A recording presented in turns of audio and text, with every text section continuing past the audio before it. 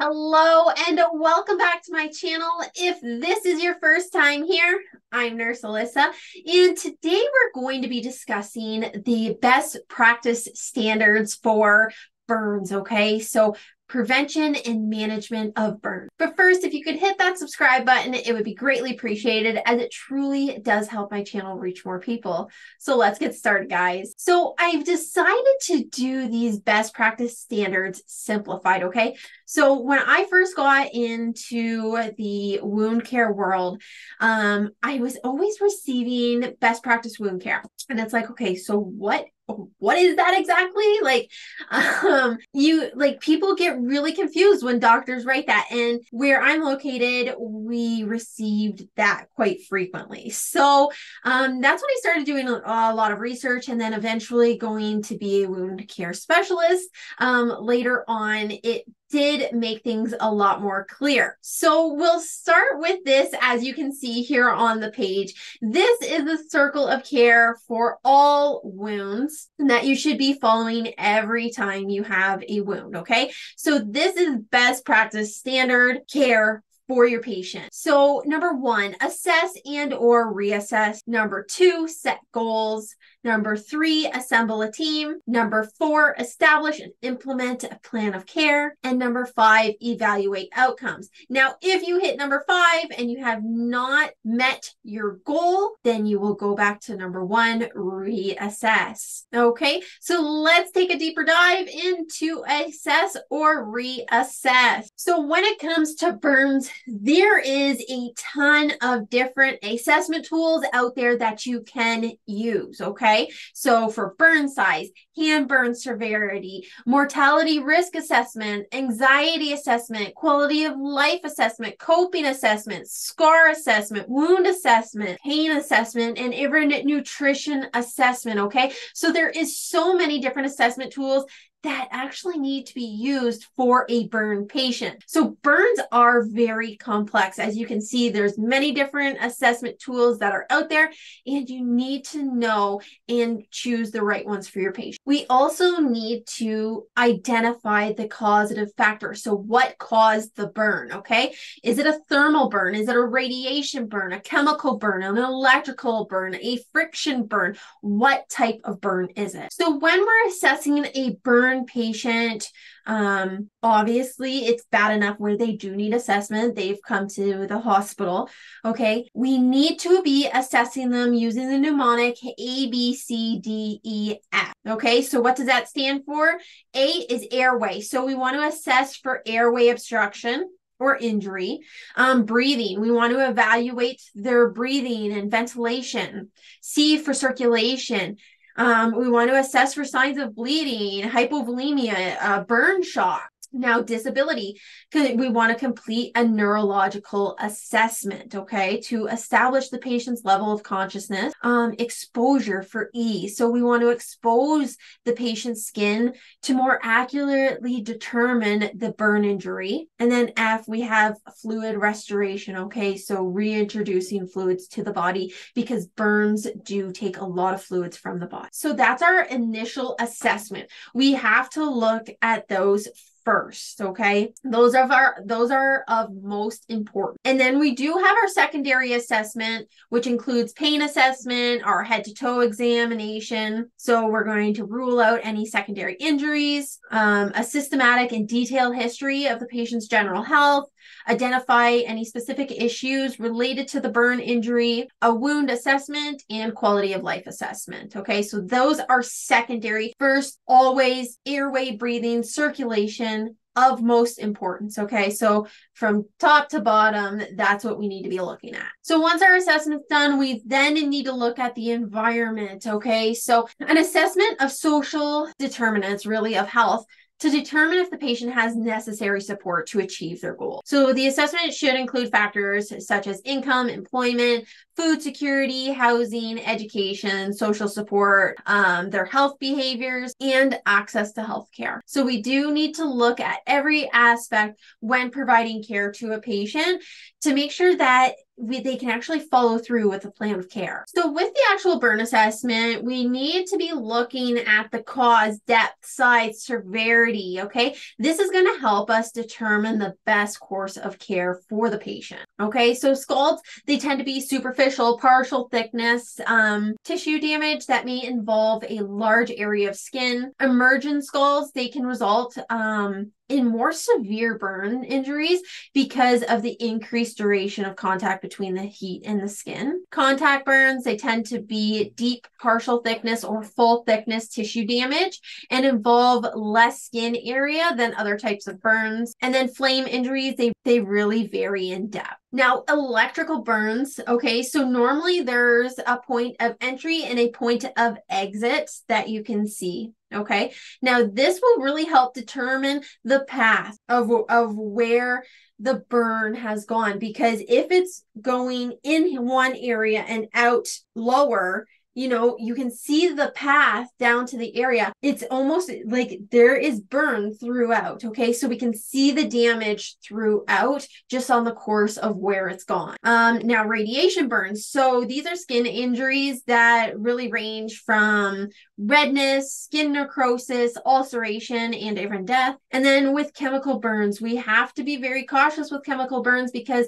um, they can burn up for 72 hours. Okay. And this is is after the initial contact. So they do continue to burn until they are inactivated. So um, this is normally by uh, washing them off. Um, but once again, it still can continue burning for up to 72 hours. So burns can be divided up into three zones. So we have zone of coagulation, zone of stasis, and zone of hyperemia. So let's look at the zone of coagulation first. So this is the center of the wound. It had the most contact with the burn source. So it is ir- irreversible full thickness tissue damage with no tissue perfusion. So really it's dead tissue. It appears white or charred and this tissue will not recover. Next we have the zone of stasis. So this surrounds the zone of coagulation. It is a deep partial thickness injury and it does have decreased tissue perfusion, so not as much blood flowing to the area. The tissue does appear red initially and later will turn white, um, and it may blanch with pressure. With good wound management, this tissue will likely recover. And then we have the zone of hyperemia. So this is at the border of the wound. It is superficial, superficial partial thickness injury with good tissue perfusion. So the blood is flowing to the tissue well. Um, it does appear red. It blanches with pressure, and likely to recover. Now, when looking at burn depth, as you can see here from this chart, um, we have first degree burn, second degree burn, deep second degree burn, third degree, and fourth degree. Now, those are really what show a burn depth. How far did it go? What type of tissue is it affect? So for superficial or first degree burn, this is just the epidermis. So the outer layer of skin, um, we have intact skin. It's blanchable. It is red. Um, but there's no blisters, okay? Now, with the second degree burns, we do have um, partial thickness of the dermis, okay? So it involves the epidermis, but that top layer of skin is going to be damaged and lost. So we either have intact or ruptured thin serum filled blisters. Then we have our full thickness third degree burns. So this is full thickness skin loss. Um, underlying structures are not exposed for third degree burns. Um, it's non black blanchable. Um, the tissue is leathery, pale, um, cherry red or brown in color and dry. So um, eschar may be present in these third degree burns and they are insensitive to pain or pressure. Okay. So they cannot feel the pain of a third degree burn. If it's very painful, you know it's either a second degree or a first degree burn because those are super, super painful. But a third degree burn, they aren't actually going to feel because it has caused nerve damage. And then fourth degree burns. So these are full thickness skin loss, um, exposed or directly palpable right under um, the underlying structure. You can actually feel that. Okay. Um, this is non blanchable. Once again, leathery, pale, red, brown, white in color and dry. Um, eschar may be present. And once again, they are also going to be um, insensible to pain or pressure. So they cannot feel pain or pressure in a third degree burn or a fourth degree burn. Then we have burn size. So I personally like to use the rule of nines. Now there is many different um, ways that you can measure the size of a burn but the rule of nines is normally the one that I like to use and I believe is used most frequently. Um, that's what I've seen in most places. So um, as you can see here, this shows the rule of nine. So the front of the legs, nine on each. The back of the legs will be nine. So most of like you just have to calculate the percentage of body involvement. So it's all split up here as you can see. Um, if it's front and back, then you just add the totals for each. Okay. So, say if it was a whole arm from tip of the fingers to up here, you would add 4.5 plus 4.5 because it's front and back. Okay. Um, if it's just the front of the whole arm, then it's just 4.5.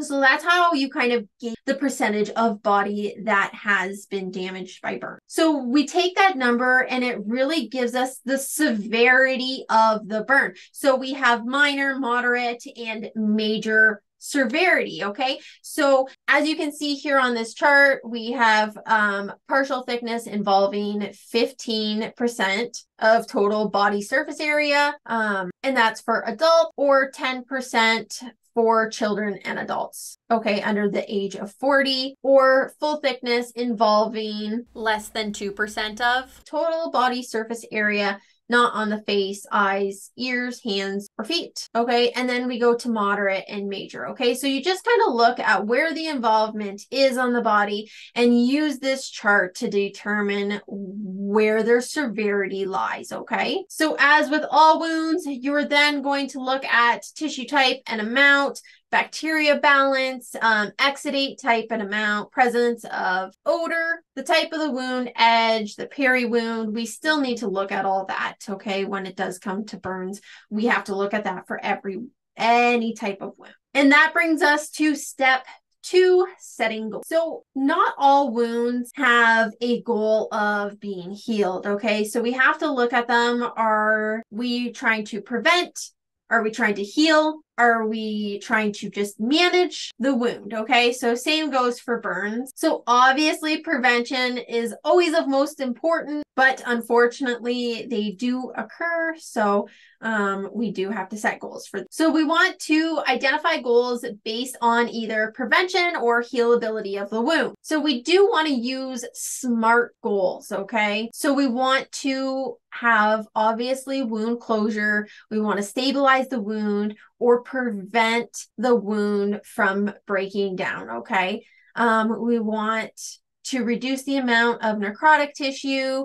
We want to reduce bacterial burden, maintain a just moist wound environment, decrease the number of wound dressing changes. Okay, wound dressing changes, they can be painful with burns, but this also helps allow the wound to heal. So the longer we can leave a dressing on for, not interrupt it and let it be at that healing temperature, it will let that wound heal for longer amounts of time. If we're opening it up twice a day and it takes a couple hours each time um, for that wound to go back into healing temperatures, we're not getting as much healing as we would if we left it for 24 48 hours. We want to have prevention of scarring or improved scar quality, limb preservation, and improve nutrients and hydration. Okay, so those are our SMART goals that we want to look at. We also want to identify quality of life and symptom control goals. So these may include pain reduction and management, reduction management of um, itch related to the wound, maintaining or improving range of motion, contracture reduction, restoring independence, returning to work, home, or school, or even leisure activities, reduced anxiety and stress, and improved coping strategies. So once that's done, we've set our goals um, for all of that.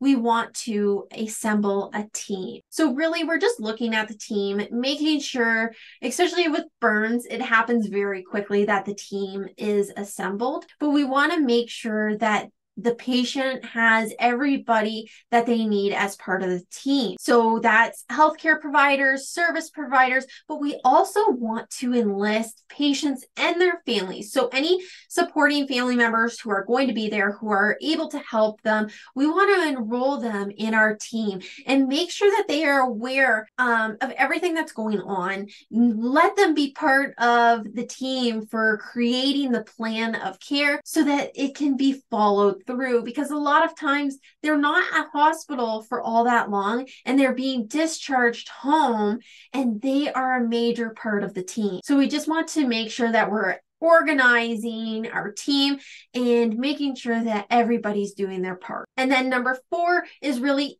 establishing and implementing the plan of care. So, assessment is quite quickly, as we've already discussed in this model for burns, because we need to make sure that airway, breathing, circulation haven't been affected by the burn. Okay. So, it was discussed up in stage one, but here we're going to establish, implement plan of care. So, like we've already discussed, the A, B, C, D, E, F, it has been done. Okay. So, um, next, we kind of go on to the management, secondary assessment, and nutrition. So we're going to talk more about nutrition in step four here for burns. So the energy patients require for burns is significantly higher, okay, for energy. So protein increases, carbohydrates need to increase. Now, just a note with glucose, so hyperglycemia and insulin resistance is not uncommon post major burn injury. Okay, so we need to watch out for that. Um, lipids, so your fat are required to prevent essential fatty acid deficiency. And we also need to make sure that we're monitoring our um, micronutrition. So this is our zinc, copper, selenium, B1, C, and E. So those are all suggested with burn. And they're actually suggested for all, all chronic wounds. So optimizing the local wound environment. So we always start off with cleansing. So we're going to use a non-toxic, hypoallergenic, uh, readily available, cost-effective, easy to use uh, wound solution, wound cleanse solution. So a lot of times this is our normal saline or potable water. Then we move on to debriding. So is there debridement needed for the wound? A lot of times for burns there is. So this is removal of necrotic tissue, any biofilms. So this could include uh, surgical, conservative sharp debridement, mechanical, autolytical, um, even a combination of, of different debridement methods. We want to manage bacterial burden so, evaluate for signs and symptoms using our NERDs and Stonees, obtain appropriate specimen collection um, if required, and then managing moisture balance. So, we want to choose the right dressing for each stage of wound healing to keep the wound just moist. Okay, a wound should be just as moist as our eyeball. So as you can see here, I have added in kind of advanced therapies, dressing categories. So the acrylic, um, alginates, films, foams, gelling fibers, hydrocolloids, hydrogels. There's really um, different times where we use each of these. So I did just add this in. I'm not really going to go over it, um, but it's there if you do need it to pause um, and look to see which one is best for the wound that you're dealing with. And then lastly, we have step five. So we're going to evaluate the outcome. So we want to determine if the goals have been met or not. Now, as you can see here in this chart, it does show kind of the expected outcome for the different types of um, burns and how long that they're going to take. So superficial, three to five days, really no scarring. Um, second degree burn um, is 14 to 21 days.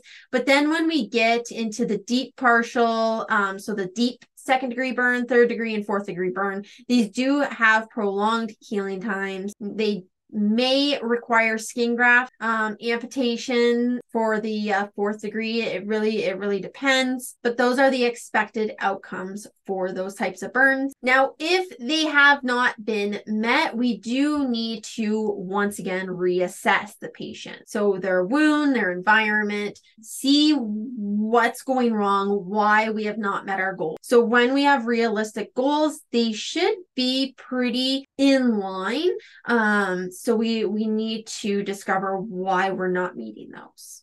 So that's all that I have for this video. I hope you did find it helpful in realizing what it takes to take care of a, of a single wound and the whole plan of care. Um, so many people go right to, okay, what am I going to put on this? How am I going to bandage it? But there's so much more involved in best practice standard for wound care.